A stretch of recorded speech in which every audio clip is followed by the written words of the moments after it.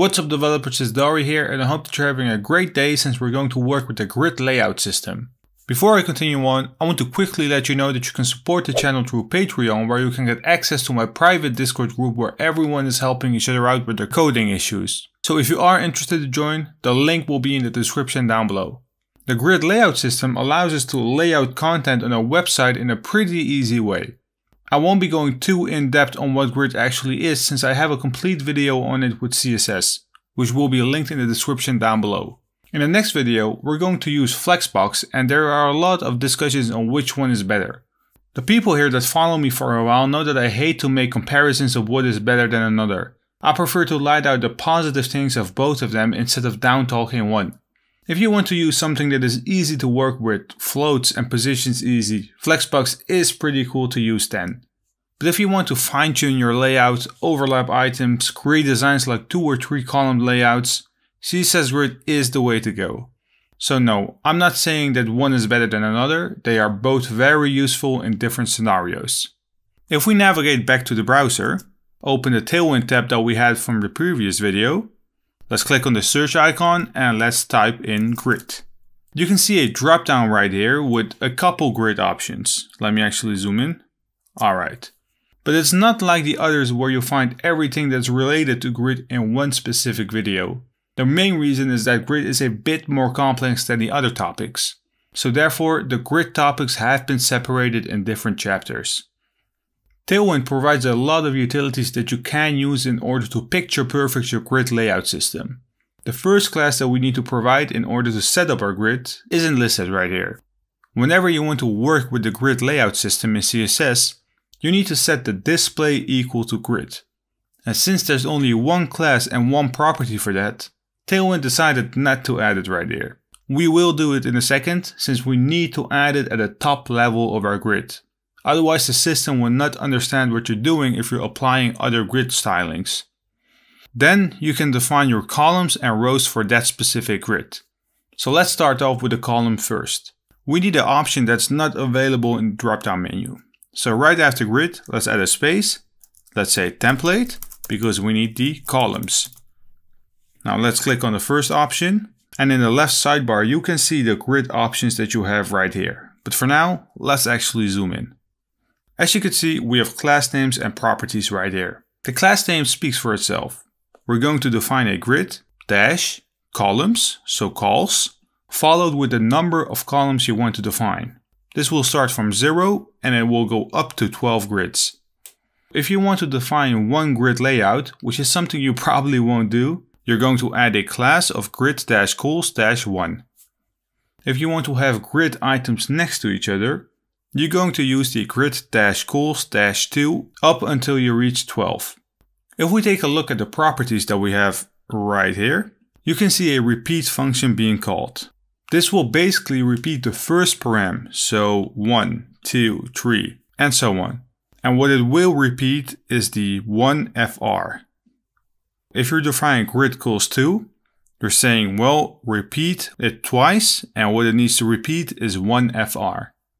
Now inside this list you can see that one fr is being called quite a lot. fr stands for a fraction.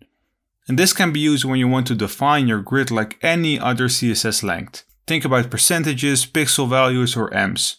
If we then navigate back to Visual Studio Code, create a new div inside our body. When working with grids, I prefer to use my parent div element as the grid layout. Inside your parent element, you can create divs, articles, and so on for every single fraction. What we need to do is to give a class to our parent element. So let's say class. What we want to do is to set it equal to a grid. And then we're going to say, well, I want a grid dash cols dash two. So I want to have two fractions inside the div. So two blocks or two grid items, whatever you want to name it. Before this works, well, let's actually save it and go to the browser refresh our local host. Uh, let me actually zoom in. All right. This doesn't work since we haven't defined our grid items. Right now, it's not recognizing anything inside the parent element that we got since it's empty. So what we need to do is to navigate back. Inside our parent element, create a new div. Let's give it a class of bg-red-500. Let's change the text to white and let's give it a height of 24.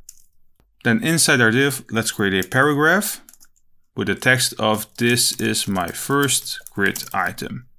Below our first grid item, we could actually duplicate it. So copy it, paste it right there. And let's change the second background color to blue. This is not my first grid item anymore, but my second one. If we save it and navigate back to the browser, you can see that we aligned our second grid item to the right and we defined our grid layout system of two columns. A cool thing about grid is the fact that you don't need to specify your rows. CSS will automatically fill in the next rows based on the number of columns you have declared. So whenever we add a new div to our grid, which we will do in a second, it will automatically detect that it needs to be placed right below the first one, since we're saying that we want a maximum of two columns. As you can see right now, the columns are aligned next to each other without spacing in between. You can indeed fix this by adding margin, but Grid has a pretty cool feature which lets you define the gap between the columns. Let's go to the Tailwind tab that we have, scroll up and let's search for gap.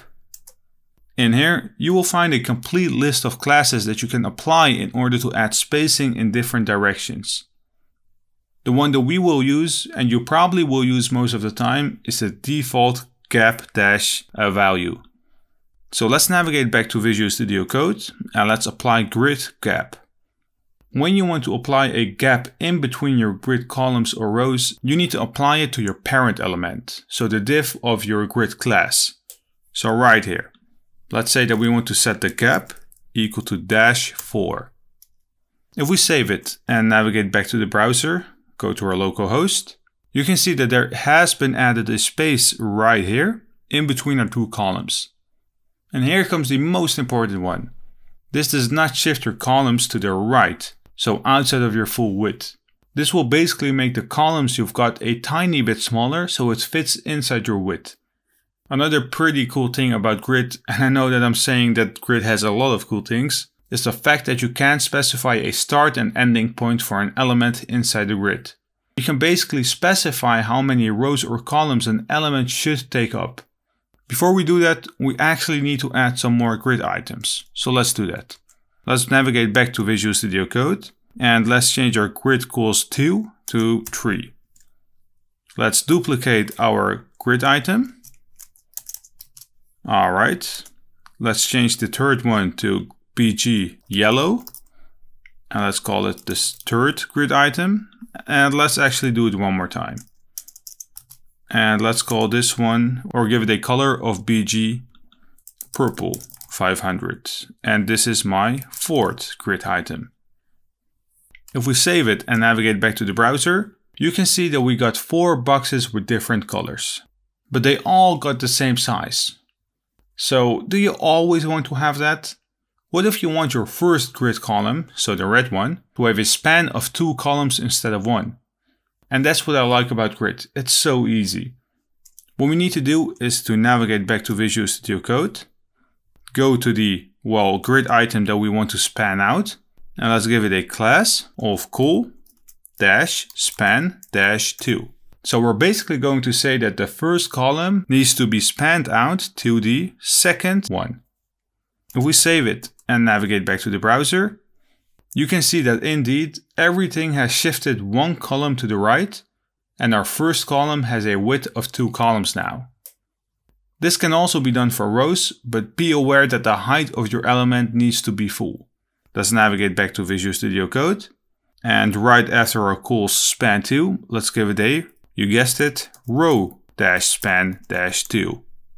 Let's save it. Let's go to Brave you can see that it has indeed been shifted to the bottom as well, but our first grid item has a height of 66%, so the background color does not completely fit in here. What we can do is to navigate back and let's say the height dash 24 is height dash full. Save it, navigate back, and this is the output that we need. This was it for this video where we went over the basics on how to use grid in Tailwind. If you do like my content and you want to see more, leave this video a thumbs up and if you're new to this channel, please hit the subscribe button.